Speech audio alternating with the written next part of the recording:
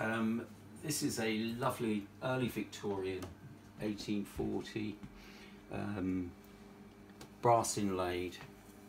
Um, you've got this wonderful uh, mother of pearl and abalone and brass top and key escutcheon. Nice swag on the key escutcheon. Super piece of rosewood.